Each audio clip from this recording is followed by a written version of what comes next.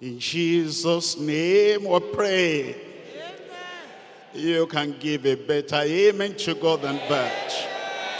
Father, we thank you and bless your name. We know you are a great God, a mighty God, a majestic God. And we know that whenever we come to your presence, we ought to honor you. And we ought to hear your word like the people who respect the Almighty. We're asking, Lord, tonight, your word will bear fruit in every life in Jesus' name. Write this word upon the tables of our heart. Give us the strength and the power, the courage and the fortitude to be obedient to your word in Jesus' name. Well, thank you because we know you have answered. In Jesus' name we pray. We're coming to John chapter 8. And in John chapter 8, I'm reading two verses there, verse 32 and verse 36. John chapter 8, I'm reading from verse 32. And ye shall know the truth, and the truth shall make you free. Verse 36, if the Son therefore shall make you free, ye shall be free indeed. Most people live below their privileges in Christ. I just said to you now, the privilege we have in Christ, that when we come to Christ, and Christ does his saving work in our souls, he makes us free. He sets us free. And he keeps us free. Free from sin. Free from sickness and free from Satan.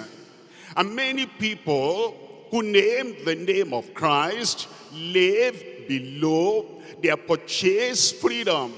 They do not have total freedom. They lose full freedom that Christ has provided for everyone. There are church goers, nominal members of the body of Christ who are defeated by temptation. They're defeated by sin. They live below their provision in Christ. They labor and yet they themselves are not the partakers of the fruits of their labor. They live much below their birthright and their privileges and the purchase of Christ on Calvary. They live below the privileges we have in Christ.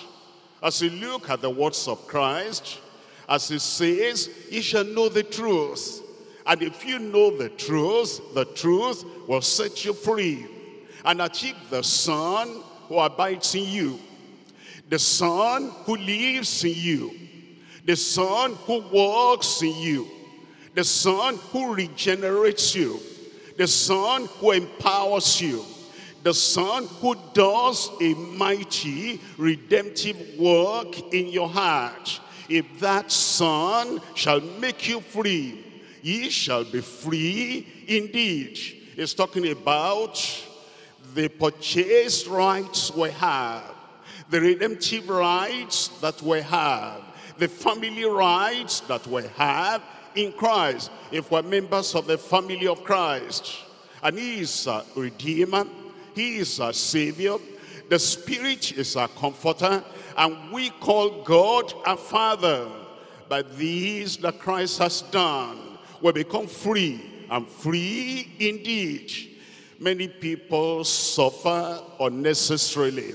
And many people will suffer in eternity because they pursue transient freedom and they ignore true freedom which Christ has given us.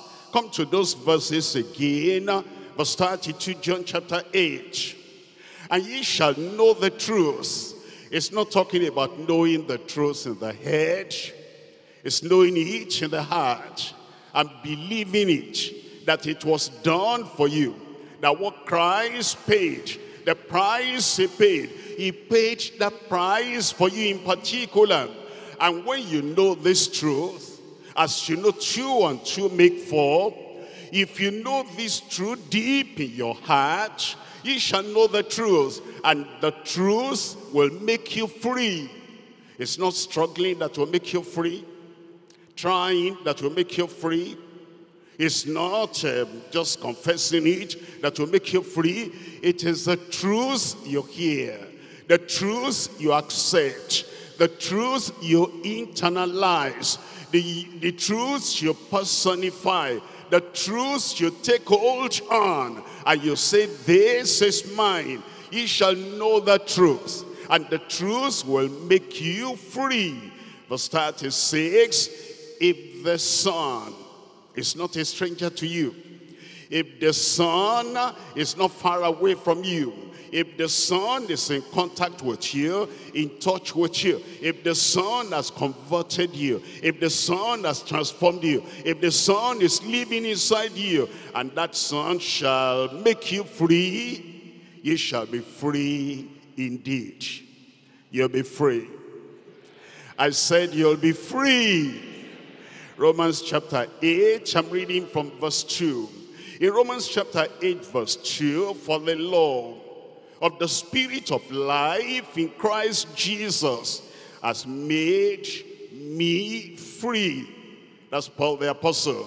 You couldn't be a preacher if that spirit has not come into you to make you free. You couldn't be an apostle you couldn't be an evangelist in the New Testament sense. You could not be a pastor, a teacher, a minister if the Spirit has not come to make you free. Free from sin and free from all the oppressions of the enemy the law of the spirit of life in Christ Jesus has made me free from the law of sin and death. He'll keep you free.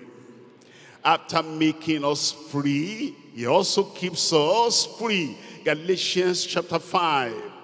I read from verse 1. Galatians 5, verse 1. Stand fast, therefore, in the liberty wherewith Christ has made you, made us free. It says Christ has done something. Calvary has done something. The substitutionary atonement of Christ has done something. He has given us liberty and has given us freedom.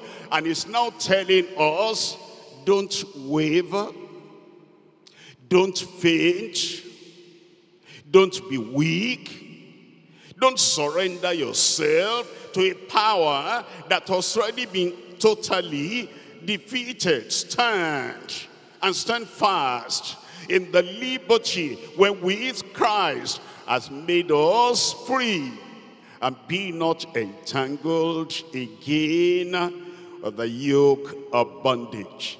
You will not get back to bondage. I will not get back to bondage. What Christ has overcome on my behalf, I will continue to overcome. I said, I will continue to overcome. And you will not yield to any yoke of bondage in your life anymore in Jesus' name. First Corinthians chapter 15. I'm reading from verse 57. First Corinthians chapter 15, verse 57. But thanks be to God, which giveth us the victory through our Lord Jesus Christ. It says, if we're in Christ, because of what Christ has done, and through the liberty the Lord has given us, he always gives us the victory. Second Corinthians, I'm reading from chapter 2. And I'm reading from verse 14. Now, Thanks be unto God, which always, always, somebody shout the word always. Say it, say it. Always causes us to triumph in Christ. Always. He causes us and makes us to triumph in Christ and make it manifest the saving or the savor of his knowledge by us in every place. All those references clear it for us that Christ has made us free and by his grace and through those promises will live a life that is totally free in Jesus name. The topic tonight is the bold victory of the justified believer in Christ.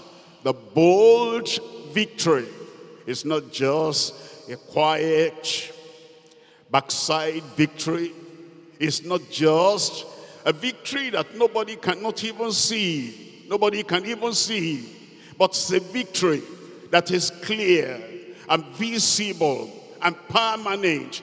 Even the heavens can recognize this is the victory, bold victory, the bold victory of the justified believer in Christ. Three things we're looking at.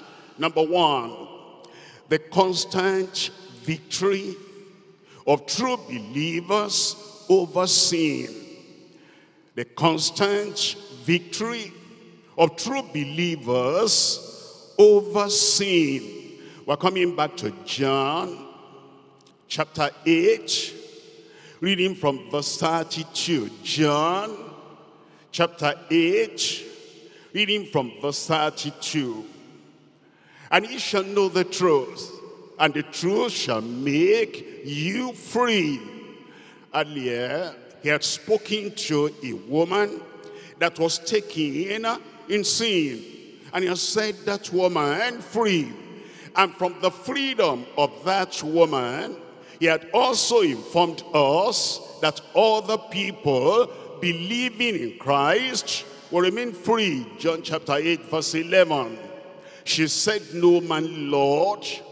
And Jesus says unto her, neither do I condemn thee. Go and sin no more. Freedom from sin victory over sin. Verse 12. Then spake Jesus again unto them, saying, I am the light of the world, and he that followeth me shall not walk in darkness, but shall have the light of life. That's still telling us we're free. I am free. Matthew chapter 1, verse 21. In Matthew chapter 1, verse 21, he reminds us, And she shall bring forth a son, and thou shalt call his name Jesus, for he shall save his people from their sins. He shall save by sacrifice, by his teaching, by his work of operation in our hearts, he shall save his people from their sins. Actually, the Old Testament people had been looking forward to the time when that will be real in every life. Some of them experienced it like Enoch. Some of them had that freedom like Samuel. Some of them had the freedom like David, like Shadrach, Meshach, and Abednego. But then they were looking forward to the time when the Lord will do it for everyone. And he tells us in Psalm 4, verses 3 and 4. Psalm 4, verses 3 and 4. But know that the Lord has set apart him that is godly for himself. He doesn't make use of those who are not godly as prophets, as preachers, as shepherds, as laborers, but he reserves, he sets apart those who are godly for himself. The Lord will hear when I call on him, standing up, verse 4. and sin not. Old Testament. Stand in reverence of the Lord and stand in the cleansing fear of the Lord and sin not. Commune with your own heart upon your bed and be still. Psalm 119. Reading from verse 1. Old, the Old Testament people look forward to the time when they'll be free, totally free from sin. And the grace of God available for people like Enoch, like Samuel, like Daniel, was available for the rest of them too. If they will hold on unto the Lord. Psalm 119 verse 1.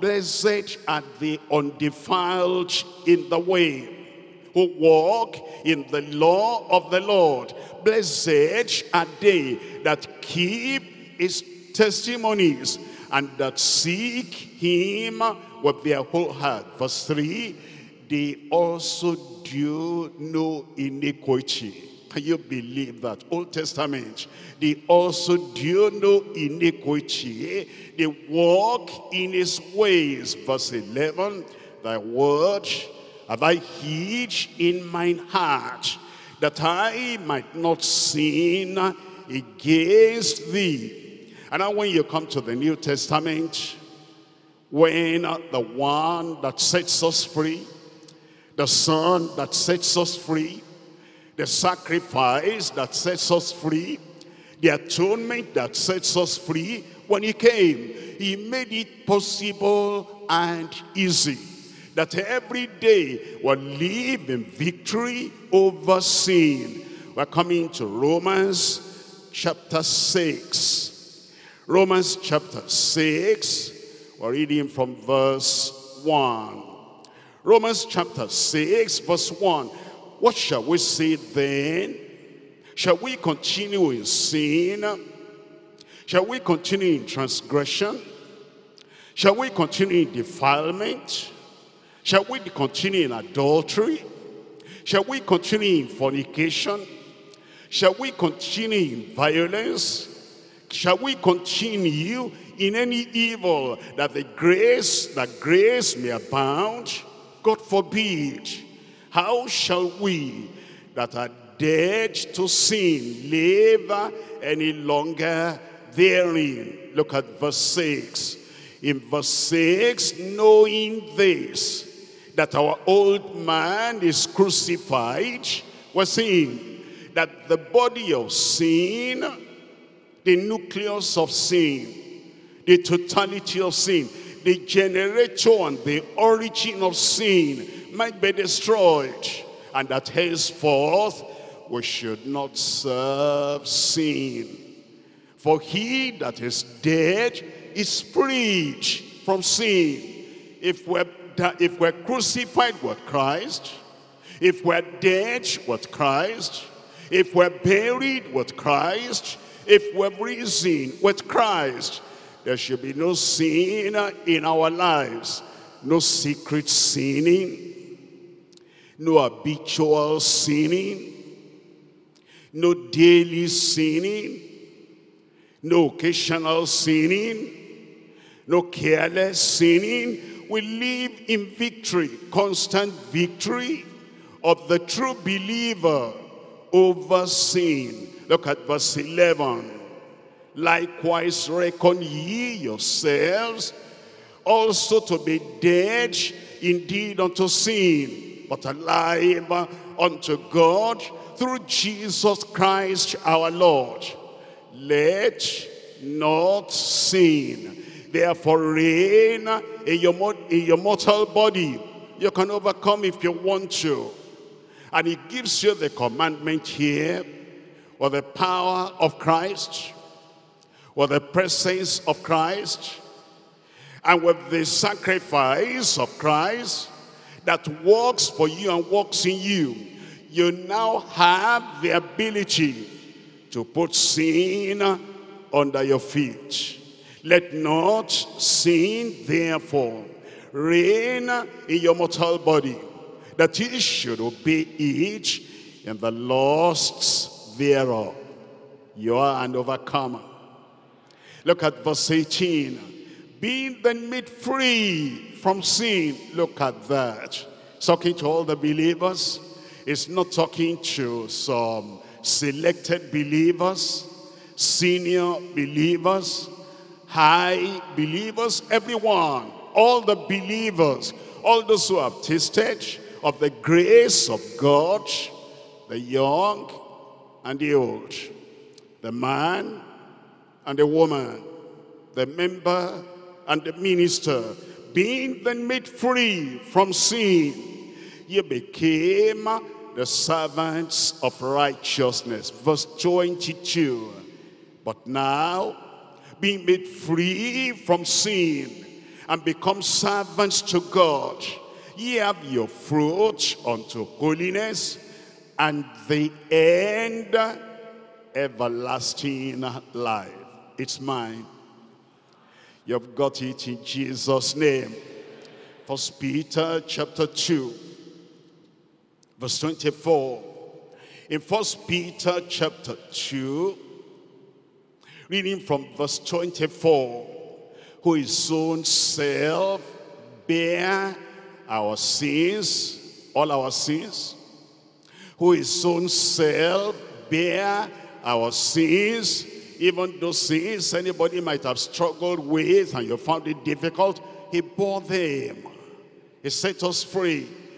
Who his own self bear our sins in his own body on the tree, that we being dead to sins, dead to sins, dead to sins. What does that mean? Sin does not attract you anymore. Sin does not draw you anymore. Sin does not force you anymore. Sin does not create an impossible situation in your life anymore. It's so strong, I can't overcome. It's so great, I can't overcome. I try, I struggle, but I still fall. Not at all. Because now you are dead to sins and now should live unto righteousness. You will live a righteous life. First John chapter 3. And I'm reading from verse 4. First John chapter 3, reading from verse 4. Whosoever committeth sin transgresseth also the law. For sin is a transgression of the law. And ye know that he was manifested to take away, take away, take away our sins. And in him is no sin. When it comes into any life, and it comes to any heart, he looks for sin in every corner of the heart, in every compartment of the heart in every area of the heart. And it takes away sin, removes sin completely. So that if temptation is coming, it will come from outside. And because he lives on the outside, he gives us the victory. Victory over sin. And ye know that he was manifested to take away our sins. And in him is no sin. Verse 6. Whosoever abideth in him sinneth not. Want us to go out of Christ to sin. Want us to go away from the influence of Christ to sin. If Christ abides in you, and you abide in Christ, Whosoever abideth in him sinneth not. Whosoever sinneth, either deliberately, intentionally, defiantly, whosoever sinneth, openly, secretly, whosoever sinneth, with I don't care attitude, they don't care for heaven or hell, it says, whosoever sinneth, yielding himself to the devil, has not seen him, neither known him. Little children, let no man deceive you.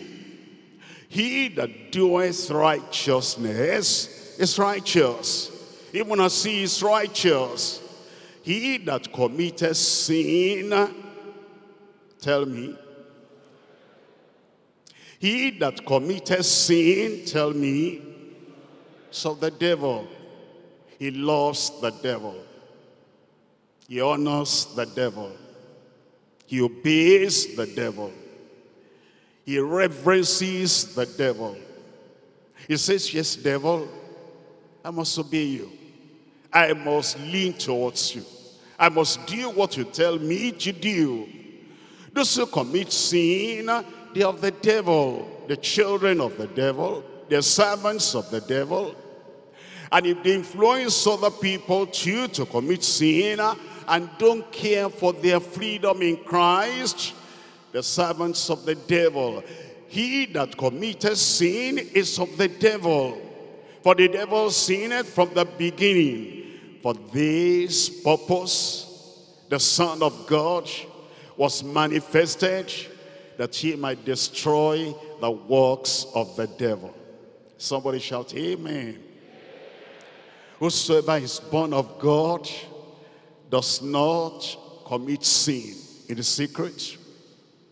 Whosoever is born of God does not commit sin, whether woman, married or not married.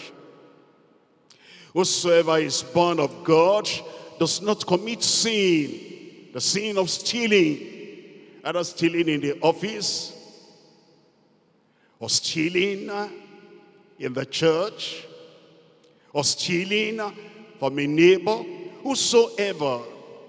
As some people say, I'm not a worker. That's why I'm committing sin. Uh-uh. You're not a Christian.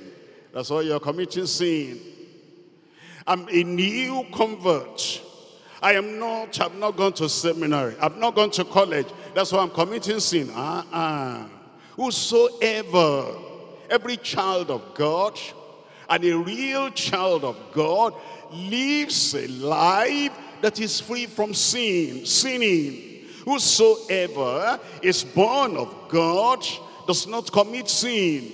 Is so and so that pushed me to it is so and so that led me into it. No, it's because you didn't abide in Christ. Whosoever is born of God does not commit sin, for his seed remaineth in him, and he cannot sin. You will not sin. And he cannot sin. I said you will not sin. Because is born of God, is a member of the family of God. You see that when Christ comes in, he gives us the victory, victory over sin. Look at chapter 5, verse 18. Chapter 5, verse 18, we know that whosoever we know, those who are well taught, we know those who are reading their Bibles, we know those who are learning from the word of God. We know those who have experienced it. And Christ is living big inside them. We know that whosoever is born of God, tell me, sinneth not. But he that is born of God, he that is begotten of God, keepeth himself. And that wicked one, tell me, touches him not. He will not touch you. If somebody cannot touch you, he will not hold you. If somebody cannot hold you, he will not drag you. If somebody cannot drag you, he cannot force you and say, today, today, you must commit sin. You will say, no, I will not commit sin. No, I will not commit sin. Say it now. That wicked one will not touch you. That wicked one will not hold you. That wicked one will not drag you to sinning. That wicked one will not force you in Jesus' name. Christ's sacrifice was not to give us license to continue in sin. No, he says, go and sin no more. Christ's suffering was not to grant us freedom for sinning. Never. He came to condemn sin. He came to call us to repentance. He came to turn us away from sin. He came to forgive, to set us free, and to cleanse us from sin. He came to implant in us hatred for sin. He came to implant in the believer hatred for sin. He came to write indelibly in the heart of the believer that you must hate sin. He came to free us from all sins. And he came to give us constant victory. You'll be free. Romans chapter 8. Romans chapter 8. We're reading from verse 3. Romans chapter 8. We're reading here from verse 3. In verse 3, for what the law could not do in the Old Testament, in that it was weak through the flesh, God sending forth his own son in the likeness of sinful flesh and for sin has condemned sin in the flesh. It doesn't excuse sin. It doesn't promote sin. It doesn't encourage sin. It condemns sin. In Luke chapter 5, verse 32. Luke chapter 5, verse 32. I came not to call the righteous, but to call sinners to repentance. He has come to call us out of our sins and he calls us to turning away. Acts chapter 3. Reading from verse 26. Acts chapter 3, verse 26. Unto you first, God having raised up his son sent him to bless you in turning away. In turning away. Turning away every one of you from his iniquities. Chapter 5 of Acts, verse 31. Acts chapter 5, verse 31. Him as God exalted with his right hand to be a prince and a savior, for to give repentance to Israel and forgiveness of sins. First John chapter 1 verse 9. First John chapter 1 we're reading from verse 9. If we confess our sins, he is faithful and just to forgive us our sins and to cleanse us. He forgives, he doesn't leave it there, and he cleanses us from all unrighteousness. And I said, he gives us hatred for sin.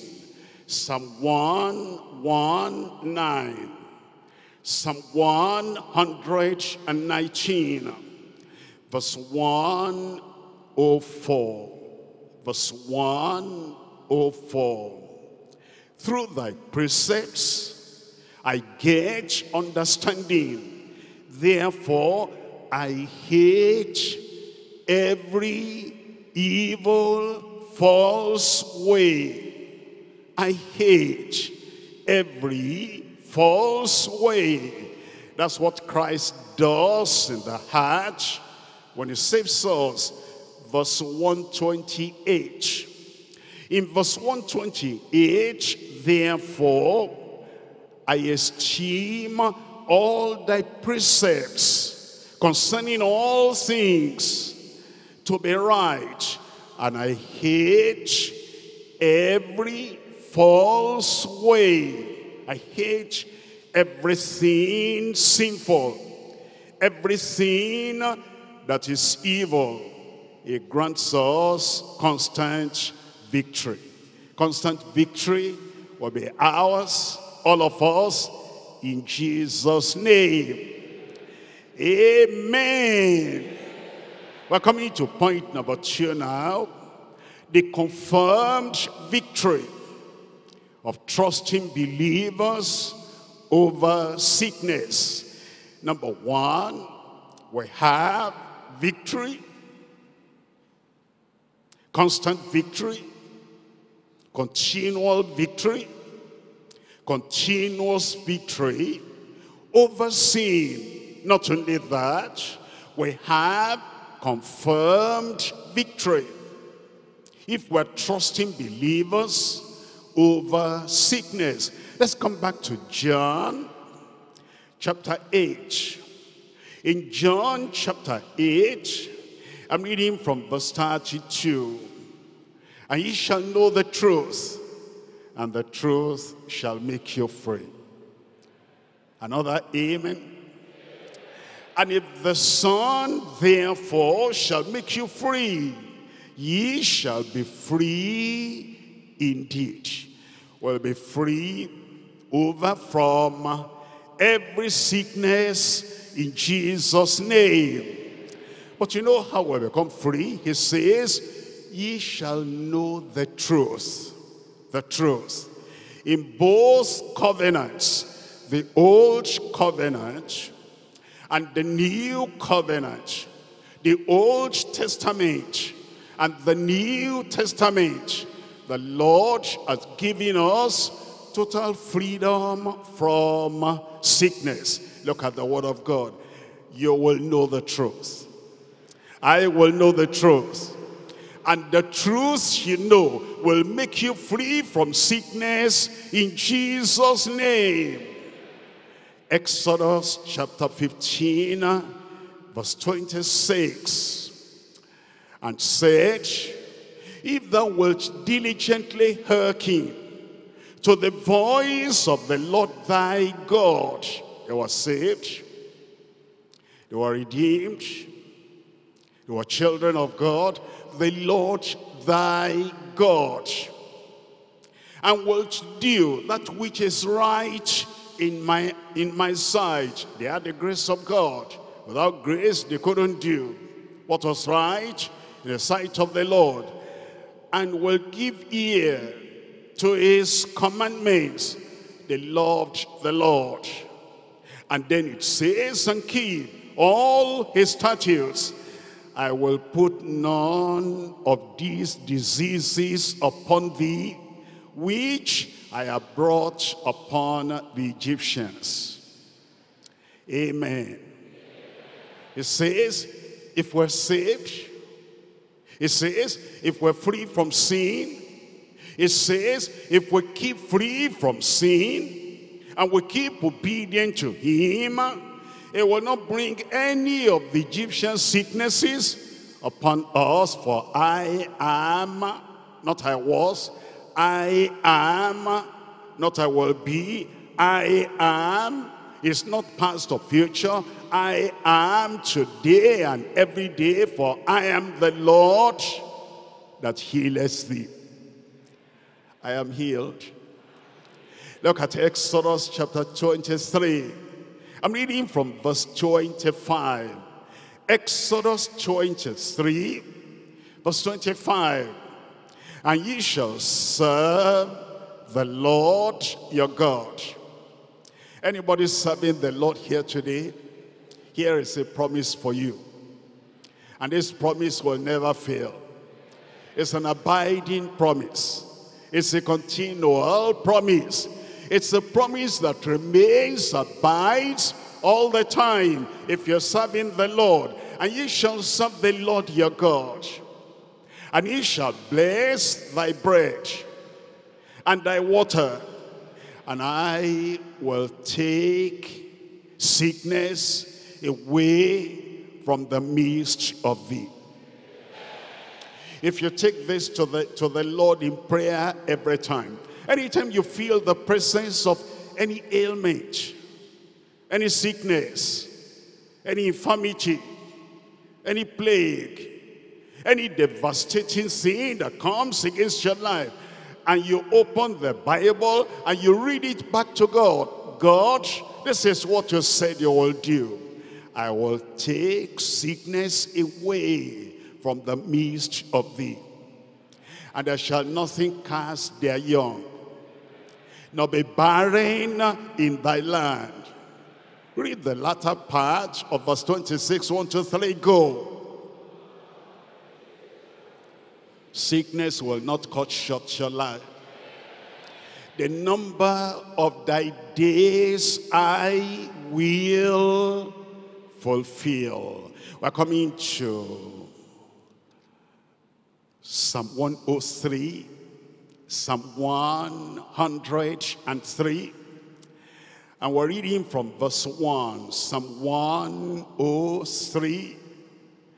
We're reading from verse 1. Bless the Lord, O my soul, and all that is within me. Bless his holy name. Bless the Lord, O my soul, and forget not all his benefits. Some people have forgotten part of the benefits. They have not forgotten salvation. They say, praise the Lord, I'm saved. They have not forgotten sanctification. Praise the Lord. He made me holy. He cleansed me. I'm going to heaven. And praise the Lord. He gives me victory over temptation every time. Great benefit. But they have forgotten the benefit of his healing power. And it says in verse 2, Bless the Lord of my soul, and forget not all his benefits, who forgiveth all thine iniquities, that's only one benefit. Who heals how many diseases? How many of your own diseases? Who heals all thy diseases? Who redeemeth thy life from destruction? Accident will not destroy your life. Who crowneth thee with loving kindness and tender mercies? Who satisfies thy mouth. Prosperity for you. Provision for you. Sufficiency for you. Who satisfies thy mouth with good things so that thy youth is renewed like the eagles. Thy youth is renewed like the eagles. As your days, so shall your strength be. As your days, so shall your health be. As your days, so shall your authority be. As your days, so shall your freedom be. As your days, so shall your deliverance be. As your days, so shall dominion be. As your days, so shall your power be. As your days, so shall your courage be. He renews our youth like that of the eagle. And the strength of the Lord will never fail in your life in Jesus' name. Growing older, you'll grow stronger. Growing older, you'll grow healthier. And growing older, you'll grow stronger in Jesus' name. Psalm 105, I'm reading from verse 37.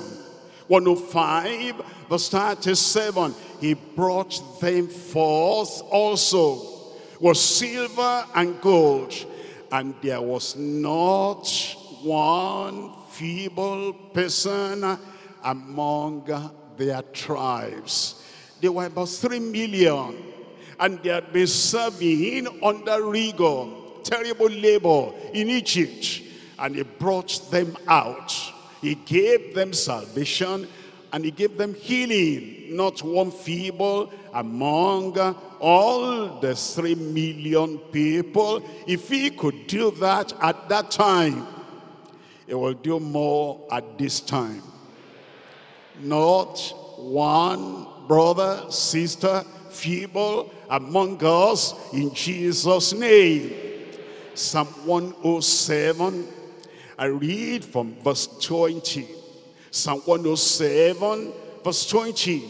He sent his word and healed them and delivered them from their destruction. Sent his word, the word coming to you, sent to you, will heal you of all sicknesses. Isaiah chapter 53.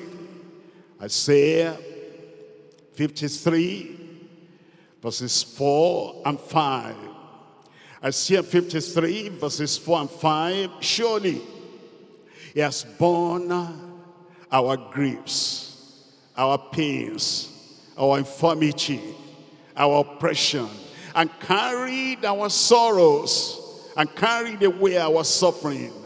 Yet we did esteem him stricken, smitten of God, and afflicted. But he was wounded for our transgression, so we can be saved. He was bruised our iniquities, so we can be saved. The chastisement of our peace was upon him, and with his stripes, and with his stripes, we are healed. Open that page anytime you have infirmity, sickness, plague, attack, affliction. Read it back to God. By his stripes I am healed. Christ bore my sin, my suffering, my shame, my sickness. If he bore everything, I cannot be bearing it again. You cannot lay my sickness on him and lay it upon me at the same time. There'll be no point him bearing it, and I'm still bearing it. I am healed. You'll be healed every time in Jesus' name. Matthew chapter 8. Some preachers, some writers, some authors in their books, some theologians, they say, you know, that thing you've read in Isaiah chapter 53, verse 5, by his stripes were healed. It's not talking of physical healing, uh, it's talking of spiritual healing. Theologian, I don't accept that. Look at the interpretation in Matthew. Matthew chapter 8. I'm reading from verse 16. Matthew chapter 8, verse 16. When the evening was come, they brought unto him many that were possessed with devils. And he cast out the spirits with his word and healed how many people? And healed how many people? If you were there on that day and you were sick, what will he have, what would he have done? Would have healed you. Has he changed? Jesus Christ the same yesterday, today, and forever, and heal them all. Look at this, look at this, that it might be fulfilled, which was spoken by Isaiah the prophet, saying himself took our infirmities and bear our sicknesses. In the fulfillment of Isaiah, our physical healing Look at the summary of the ministry of Christ when he was here on earth. Acts chapter 10. I read from verse 38. How God anointed Jesus of Nazareth with the Holy Ghost and with power, who went about doing good and healing and healing and healing how many people? All that were oppressed of the devil, for God was with him. Some preachers, they say, yes, we know God has power to heal. But you know, he can decide whether to do it for one person or the other. They say it's like a father. If a child is asking something from the father, the father will look at that thing that the child is asking. And if the father sees that it is not good for the child, the father will say no. And in the father saying no, he has answered. It's not that he did not answer. The child was asking for something. The father knew that the thing is not good for the child.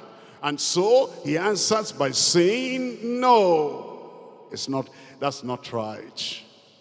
If the father has promised that thing to the child, if the father has purchased that thing to the child, if the father has done it for all the other children in the family, and the child is coming to ask what the father has promised, what the father has purchased, the father cannot say no. Look at all these people at the time of Jesus. Everyone that came received the healing. And Jesus did not say, no, it's not okay for you. The Father wants you to bear your sickness because this is the best gift of the Father for you. And so I say no. The Father promised in the Old Testament and through Jesus Christ, he has come to fulfill. And when we come to ask the Father now, through Jesus Christ, he heals all that are oppressed of the devil. Pastor, how about some people that were not, have not been healed? That's a great question.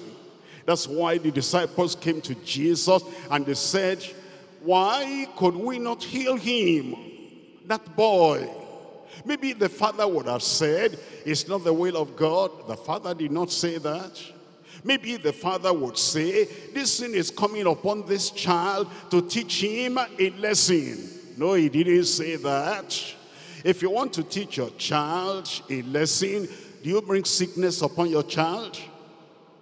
Church, tell me, no. You can correct your child. You can instruct your child.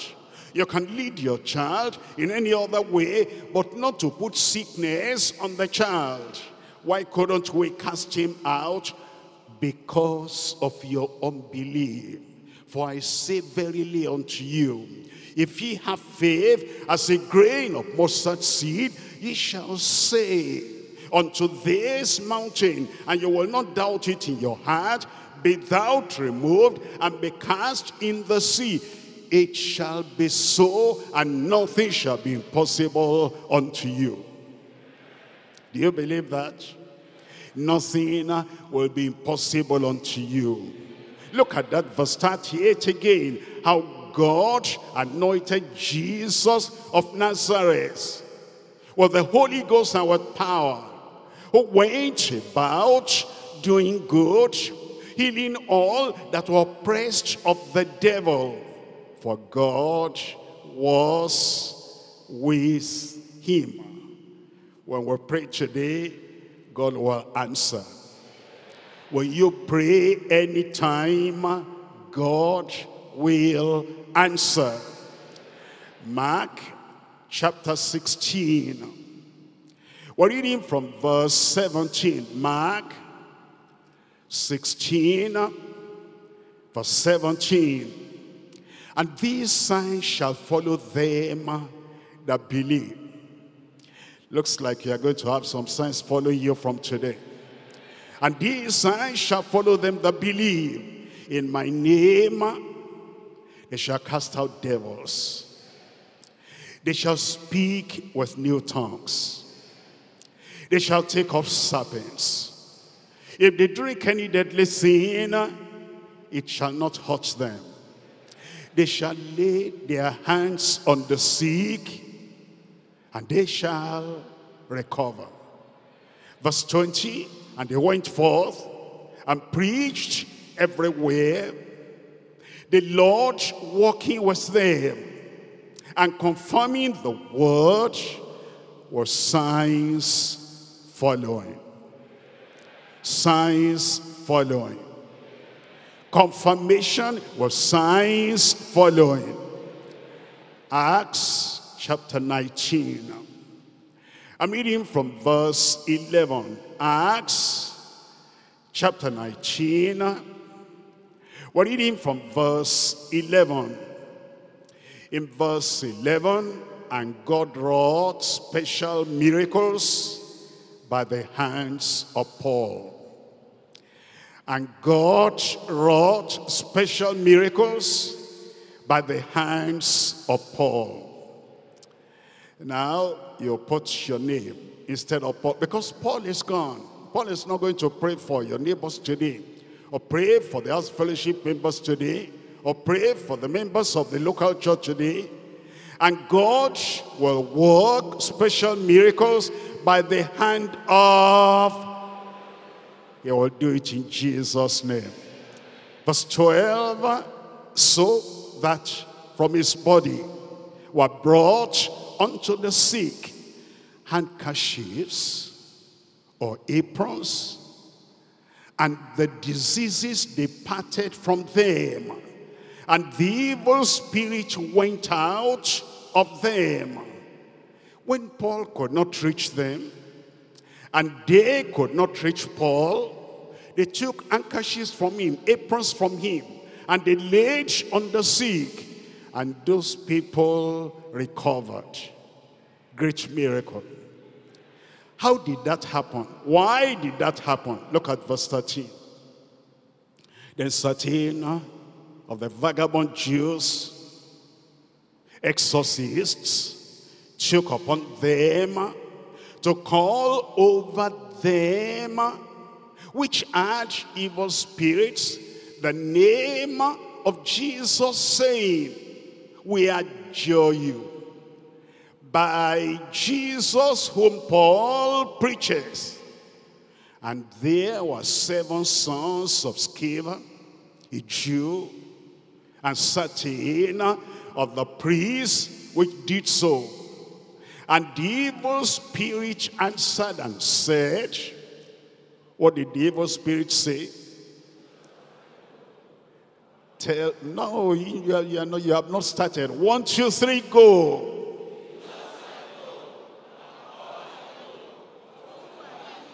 Praise the Lord. Jesus, I know. What does that mean? those evil spirits said, we know Jesus. We know his authority. We know his power. And we know his wonders. And we know even his name. If Jesus came and said directly, go out, Jesus will recognize, will go out. But the evil spirits did not stop there. The evil spirits said, and Paul I know. Even if an apron comes from Paul, I recognize I will run away. Even if an handkerchief comes from Paul to cast me out, I won't allow them to labor, labor before I go out. I will go out. Paul I know. And if Paul himself comes directly and he says, come out, I know his voice. I know his authority. I will come out. What's that teaching us? The evil spirits recognize the believers. The salvation of Paul is the same as your salvation. And the word, the name of Jesus in your mouth is the same as the name of Jesus in the mouth of Paul. And so, if you confront those evil powers, like the new Jesus, the new Paul, they'll recognize you, they will run away. Jesus I know, and Paul I know. As we look at the healing covenant of God in the old covenant, that healing covenant came to take sickness away and to keep sickness away. He says he'll take sickness away from us. Sometimes because of sin. The sin of neglect. The sin of unbelief. The sin of disobedience. The sin of ignorance. God's covenant with the Old Testament people became irrelevant, impotent, and will not work. But every time they repented and they called upon the Lord, he forgave them. He cleansed them. He canceled the penalty. And they became healed. And the healing virtue flowed through the prayer unto them. And today, as we pray, God will answer prayer. Actually, many people don't understand. The Old Testament people were limited in their praying for healing. But in the New Testament, we're not limited. Number one, we're healed by the word of God. Speak the word only, and my servant shall be healed. Some people carry bottles of oil about because the only way they know that healing can come is anointing with oil. New Testament is wider, greater, and deeper than that. Number one, the word of God. Number two, the name of Christ and his name. Through faith in his name has made this man whole, whom you see and know. Acts chapter 3 verse 16. Number three, by the stripes of Jesus. By the stripes of Jesus. By whose stripes ye were healed. First Peter chapter 2 verse 24. Number four, by the fatherhood of God. If he being evil know how to give good things to your children, how much more shall your Father who is in heaven give good things to them that ask him? Number five, by the mercy of Christ. Luke chapter 17 verse 12. The ten lepers came and they said, Jesus, thou son of David, have mercy on us. Go show yourselves to the priest. And while they were going in the way, they were cleansed. Number six, by the power of Christ. For God is able to do exceeding abundantly above all that you ask or think by the power that worketh in you. Number seven, by the indwelling presence of the Spirit. If the Spirit that raised up Jesus Christ from the dead dwell in your mortal body. He that raised Jesus from the dead will quicken your mortal body by the spirit that dwelleth in you. Always by the word, by his name, by stripes, by the fatherhood of God, by the mercy of Christ, by the power of Christ, by the indwelling presence of the Holy Ghost, you are healed through and through. Every weight, you are made whole. And no sickness will remain in your body as you believe in Jesus' name. Point number three now. The complete victory of transformed believers over Satan complete victory of transformed believers over Satan. We're coming to John chapter 8, and I'm reading from verse 36. John chapter 8, reading from verse 36. If the Son, therefore, shall make you free, you shall be free indeed. And then he goes, I know that ye are Abraham's seed, but you seek to kill me because my word has no place in you. I speak that which I have seen with my father, and ye do that which ye have seen with your father. They answered and said unto him, Abraham is our father. Jesus says unto them, If ye were Abraham's children, ye would do the works of Abraham. But now ye seek to kill me, a man that had told you the truth, which I have heard of God. This did not Abraham. Ye do the deeds of your father. They said, then said they unto him, We be not born of fornication. We have one father, even God. Jesus said unto them, If God were your father, ye would love me. For I proceeded forth and came from God.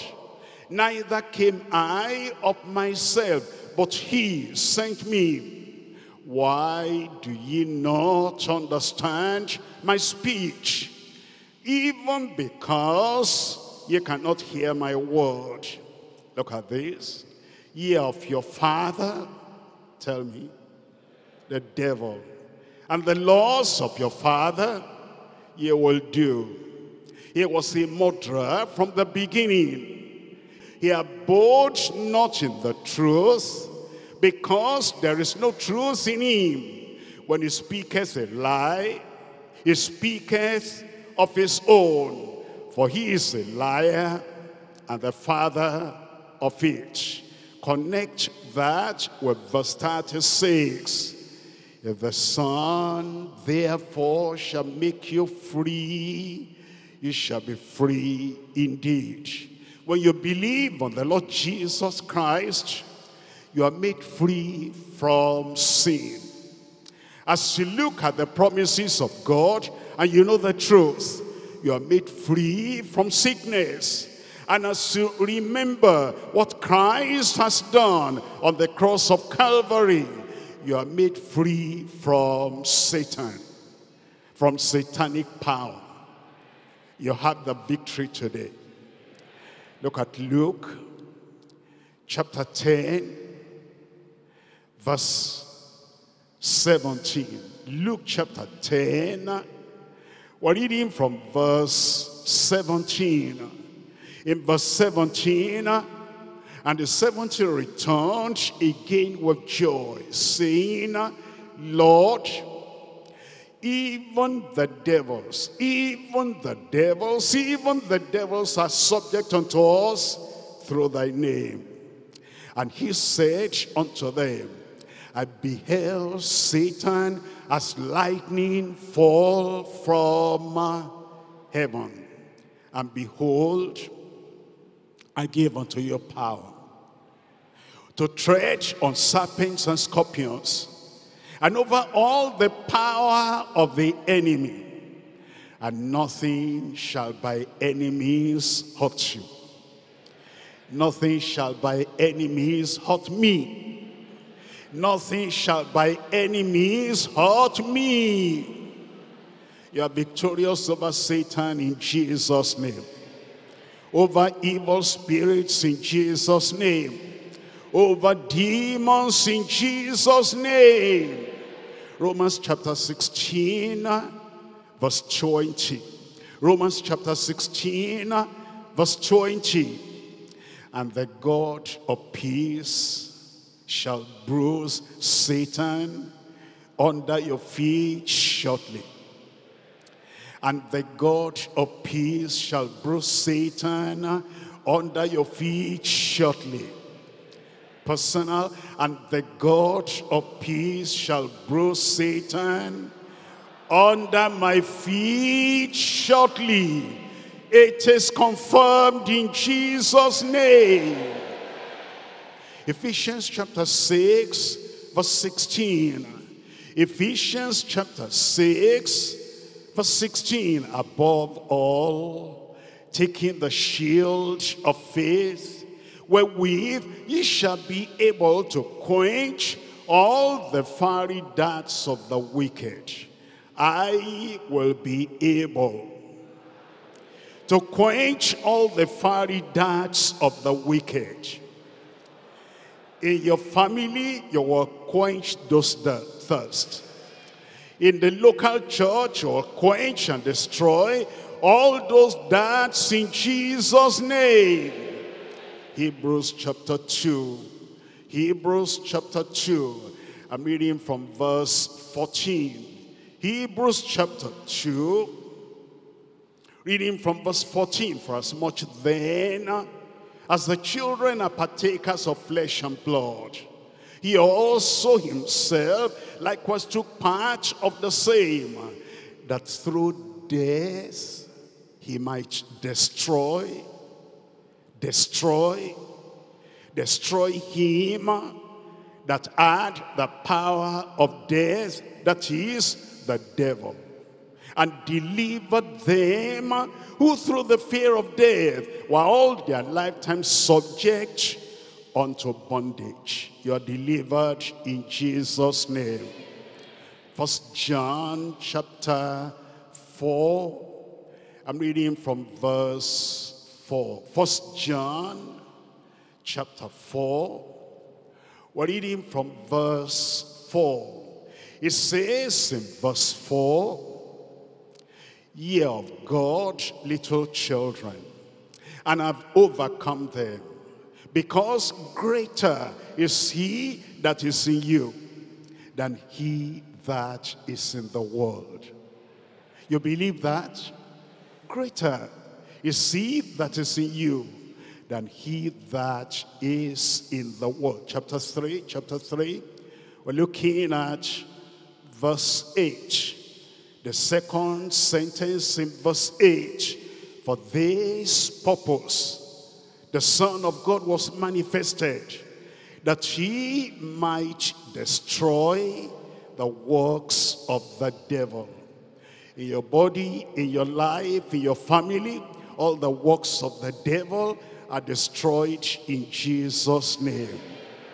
First John chapter 5, verse 18.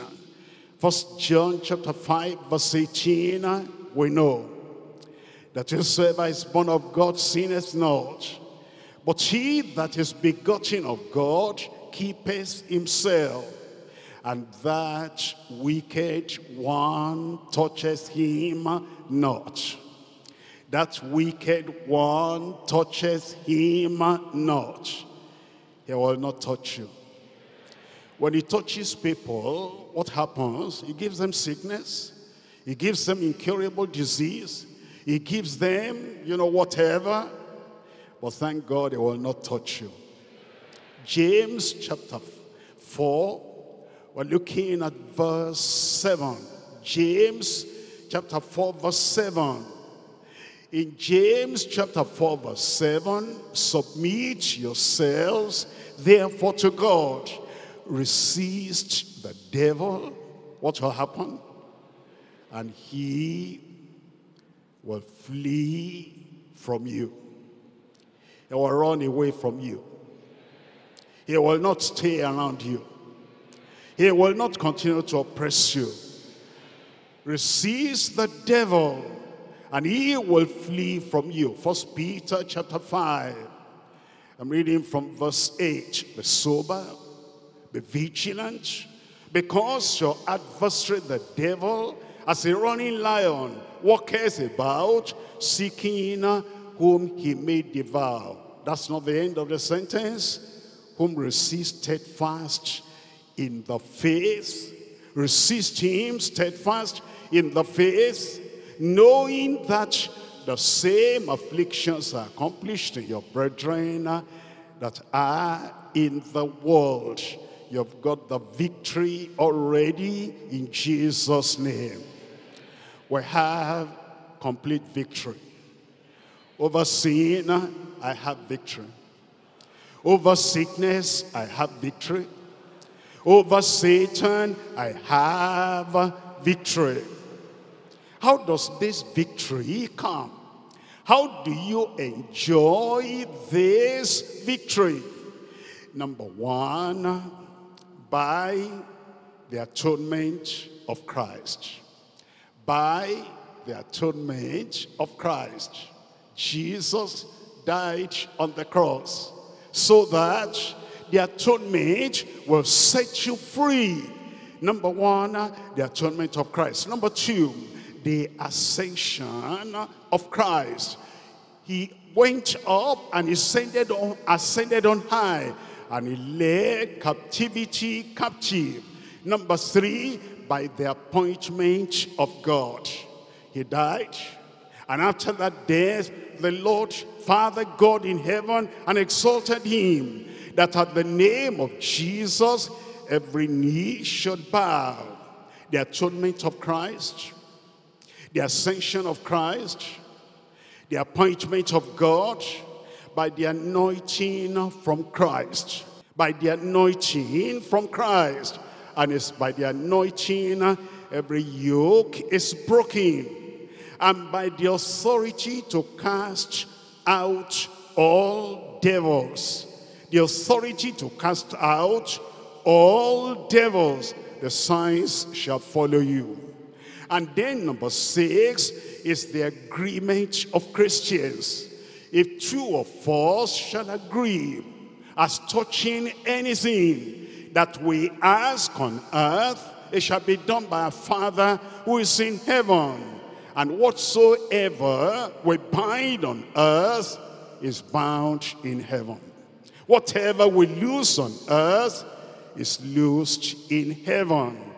And then even by the acknowledgement of the conquered spirits, they acknowledged it. Jesus I know, and Paul I know, and by their own acknowledgement, they're defeated from your lives in Jesus' name. John chapter 19, I'm reading from verse 30. John chapter 19, we're reading from verse 30. When Jesus therefore had received the vinegar, he said, it is finished. Can you say that with me? It is finished. Can you say that again? Say that for the final time. The power of Satan is finished from your life. The power of sin is finished from your life. And the presence of sickness finished from your life. It is finished. You're free. Where are you? You're free. Where are you? I said you're free. Stand up and claim your freedom. Claim your freedom. We have total victory. We have bold victory. We have constant victory. We have confirmed victory. We have complete victory over sin, over sickness, over Satan. It is finished. Call upon the name of the Lord and you'll find that that sin will no more power over your life in Jesus' name. Tell the Lord, tell the Lord, it's finished. The power of sin is broken. It is finished. The power of evil is broken. It is finished. Sin shall not have dominion over you. It is finished. He sets the captive free. He forgives. He cleanses. He purges. He makes us free. Know the truth, and the truth shall make you free. Believe the truth, and the truth shall make you free. Accept the truth, and the truth shall make you free. Embrace the truth, and the truth shall make you free. You shouldn't be in bondage to any sin, to any sickness, to any satanic power, to any evil spirit. Claim your freedom. The liberty wherewith Christ has made you free. Abide in that freedom. Enjoy that freedom. Affirm that freedom. Stand on that freedom.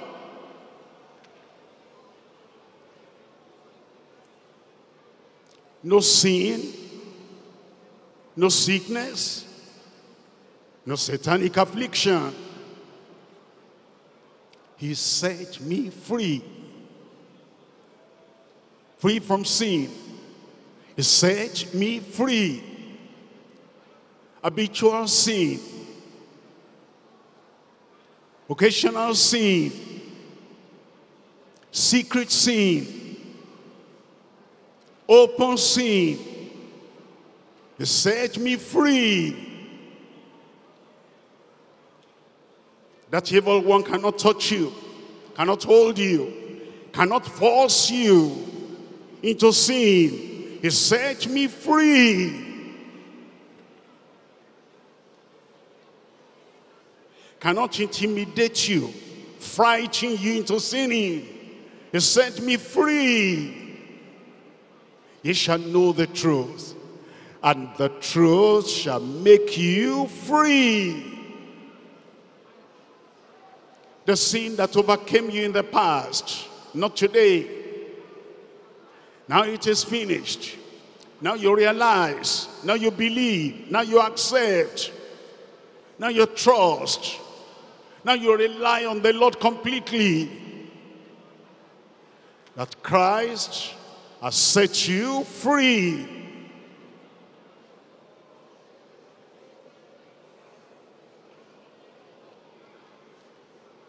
Calvary paid the price.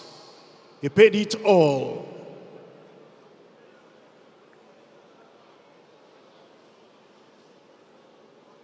You won't sin in the night. You won't sin in the day. You won't sin under the cover of darkness. And you will not sin in daylight free.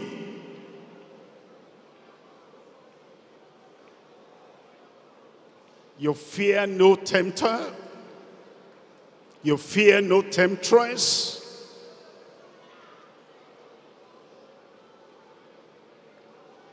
You fear no man. You fear no woman. That will drag you into sin. You stand. You have backbone. You have courage. You have stamina. You have grace. You stand. You are born again, so you don't sin.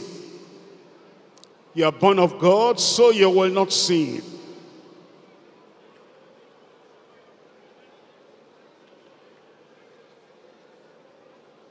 Sets you free. Free from sin makes you free. Free from every sin. Ye shall know the truth. And the truth shall make you free.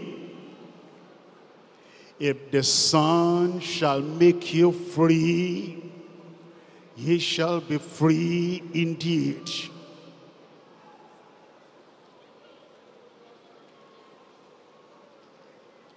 If the Son shall make you free, ye shall be free indeed. Small sins, little sins, big sins, weighty sins, ordinary sins, common sins, you're free.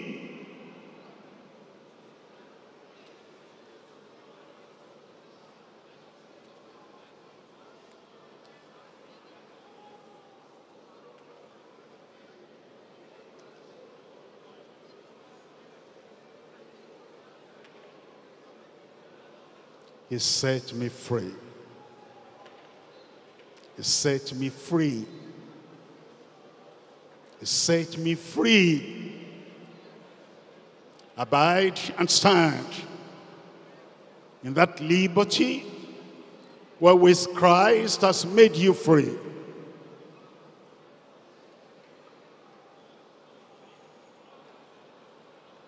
The blood of Jesus cleanses us from all sin. The blood of Jesus cleanses us from all sin and keeps us from all sin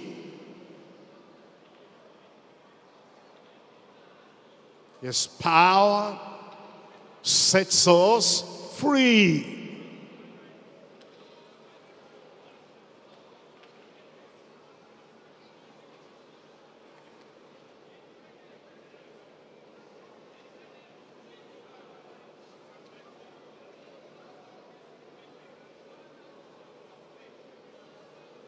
And remember, he sets us free from sickness. The word of God heals us. He sent his word. And he heals us. And delivers us from all our oppression. The name of Jesus heals us. Whatsoever you ask in my name, uh, that I will do the Father may be glorified in me.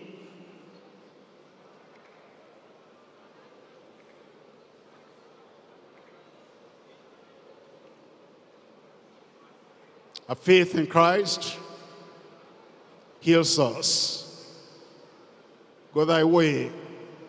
Your faith has made you whole.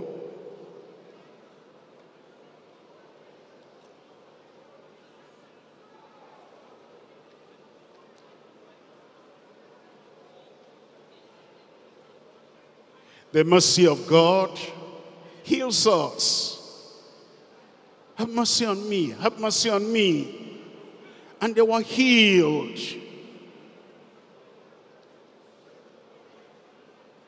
The fatherhood of God heals us. If ye been evil, not to give good things to your children, how much more will your Father who is in heaven give good things to them that ask him. Healing is a good thing. They went about doing good and healing all.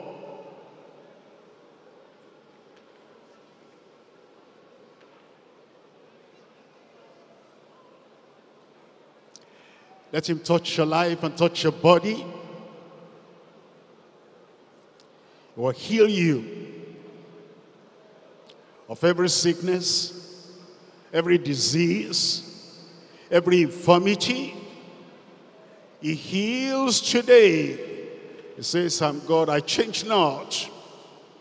And Jesus Christ the same. Yesterday, today, and forever.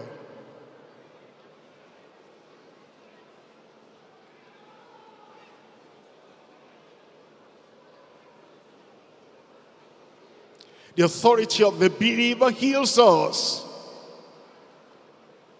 This sign shall follow them that believe. In my name they'll cast out devils. If they drink any deadly thing, it shall not hurt them. They shall lay their hands on the sick and they shall recover. His promises are yes and amen. If the Son therefore shall make you free, you shall be free indeed.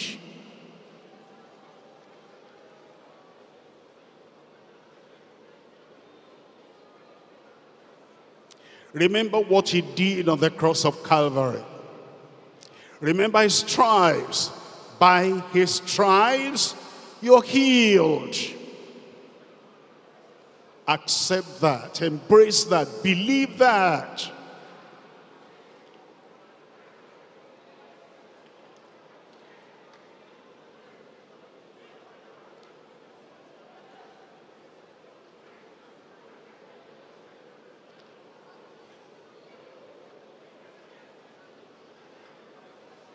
And you have victory over every demon, over every evil spirit, over the curse, over Satan, over the old serpent,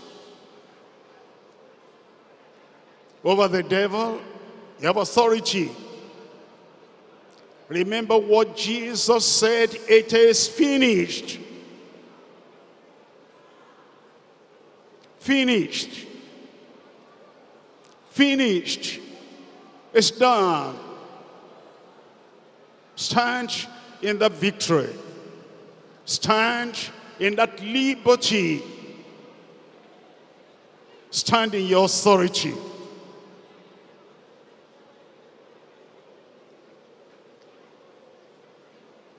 He finished the devil on the cross of Calvary. The word of power is now in your mouth. The word of authority is now in your mouth.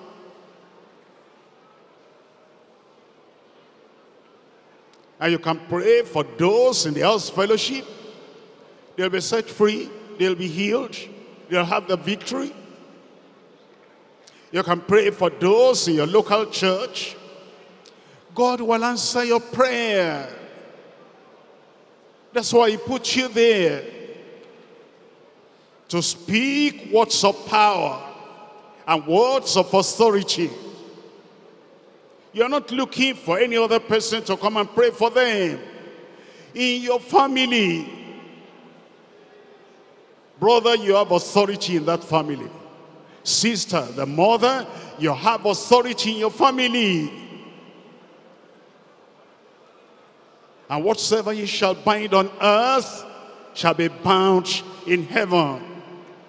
And whatsoever ye shall loose on earth shall be loosed in heaven. Speak to that mountain in the lives of those who come to you.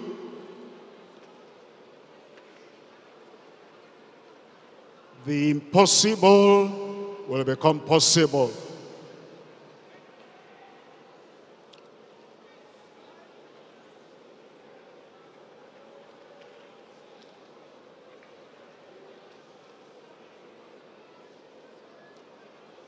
Your life, there's victory. Your family, there's victory. Your local church, there's victory. In our church, there is victory.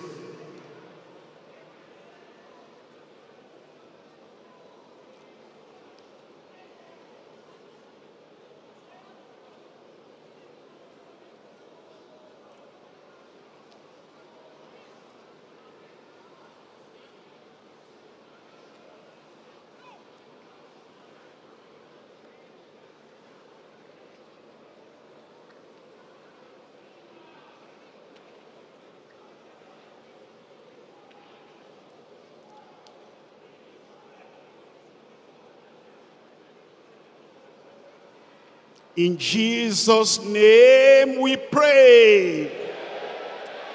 An amen that carries authority.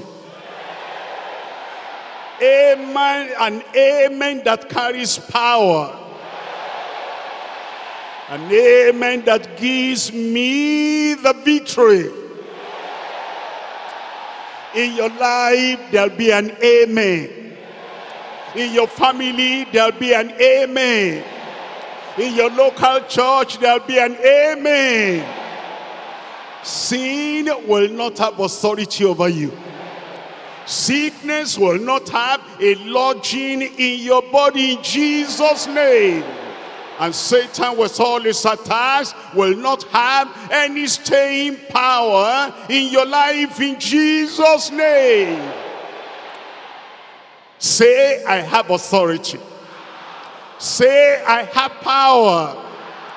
Sin shall not reign over me. Let the heavens hear you. Let society hear you. Let all the tempters and temptresses hear you. Let the devil hear you. Sin shall not have power over me in Jesus' name. Sickness will not have a resting place in your body. Sickness will not have a resting place in my body. Say it, sickness will not have a resting place in my body. I am a temple of God. I am a temple of God. Satan has nothing in me. The devil will not have anything in you. Will not have any authority on you. You will march on the devil. I said you will march on the devil. You will tread on your problem. Every mountain will move before you. From tonight, no more impossibility. Where? I said where? In my life, in my family, in our church, there'll be no impossibilities in Jesus' name. Who is carrying victory back home? And then you will take that victory to the house fellowship. Where are you? You will take that victory to your family. Where are you? You will take that uh, victory to your office. Where are you? And then you will walk like a conqueror. You will live like an overcomer. And you will live like somebody who knows who you are and you know you're right and nothing will conquer you anymore in Jesus' name. Father, we thank you today. You have renewed our knowledge. We knew this before and you're refreshing our memory that we are more than conquerors and that we have the victory, constant victory. We have the victory, continual victory. We have the victory, confirmed victory. We have the victory, complete victory. Make it so in every life in Jesus' name. Lord, I pray for every brother and every sister.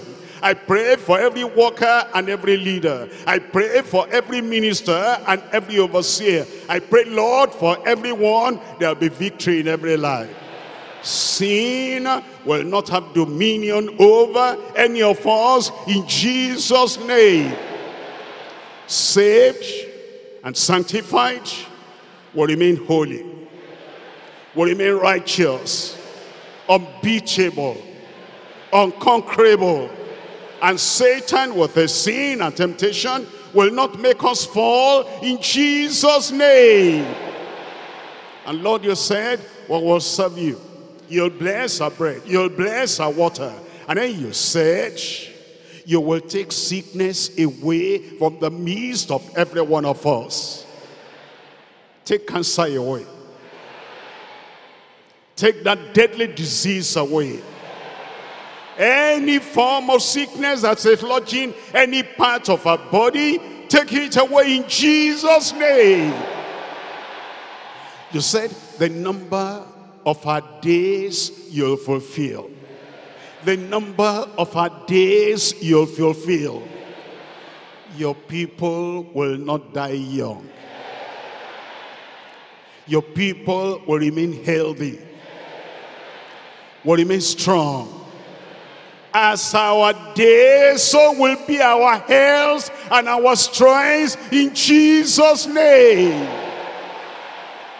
will continue strong, continue healthy, continue sound, I will continue to do your work and the more of the work of God with you, the more our strength will be, our health will be in Jesus' name. Now, Lord, the devil is going about like a roaring lion. It's not a real lion, pretending, roaring like a lion. But we have the lion of the tribe of Judah in us. And the real lion, the mighty lion, the great captain, Jesus Christ, will crush that fake lion every time we meet him in Jesus' name. You said we should resist the devil. We shouldn't just sit down and relax and allow him to be pouring rubbish upon us. We reject and refuse and resist everything coming from the devil in Jesus' name.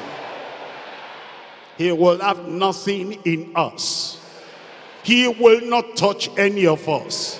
He will not hold any of us. He will not drag any of us.